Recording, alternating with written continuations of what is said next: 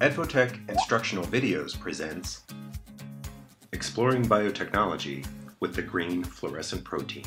Module 1 Transformation of E. coli with GFP. In Module 1, you will transform the GFP host E. coli bacteria with the P. fluorogreen plasmid. The host bacteria will be grown for 18 to 22 hours on LB agar source plates, collected using a sterile loop and made competent in calcium chloride.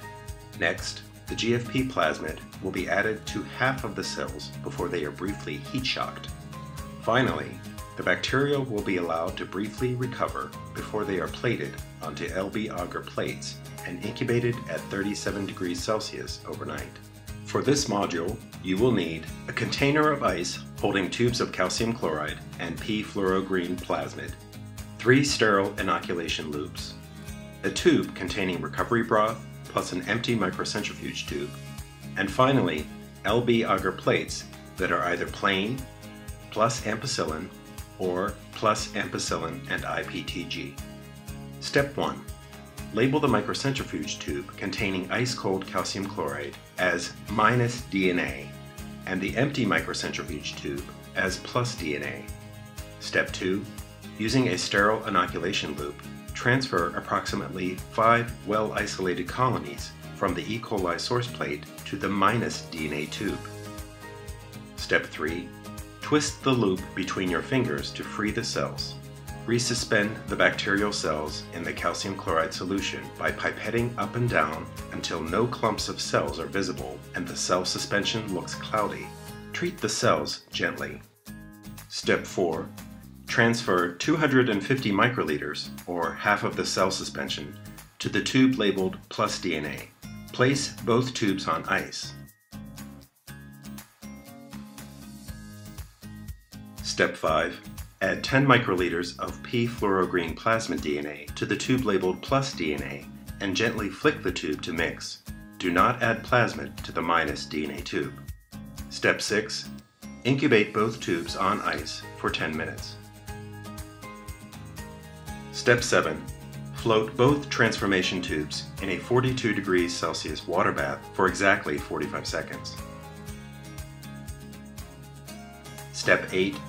Immediately return the tubes to the ice bucket and incubate for 2 minutes. Step 9. Carefully transfer 250 microliters of recovery broth to each tube using a sterile 1 ml pipette. Gently mix by flicking the tubes. Step 10. Incubate the cells for 10 minutes in a 37 degrees Celsius water bath. Step 11.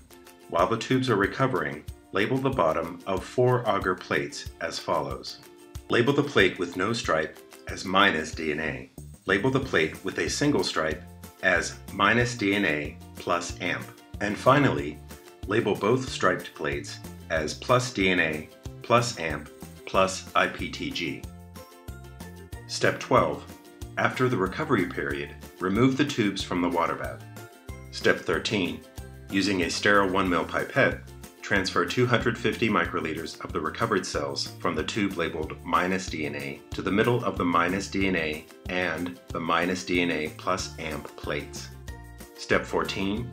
Using a new sterile 1 ml pipette, transfer 250 microliters of the recovered cells from the tube labeled plus DNA to the middle of the plus DNA plus AMP and the plus DNA plus AMP plus IPTG plates.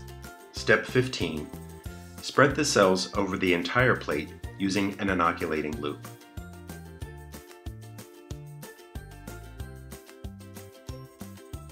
Use one sterile loop to spread both minus DNA samples. Change to a fresh loop before spreading the plus DNA samples. Make sure the cells have been spread over the entire surface of the plate. Cover the plates and wait 5 minutes for the cell suspension to be absorbed by the agar. Step 16. Stack the plates on top of one another and tape them together. Label the plates with your initials or group number. Once you are sure that the liquid has been absorbed into the agar, place the plates in the inverted position, agar side on top, into a 37 degrees Celsius bacterial incubation oven for overnight incubation.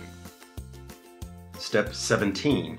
After the overnight incubation, visualize the transformation and control plates using a long wave UV light. You are now ready to proceed to Module 2.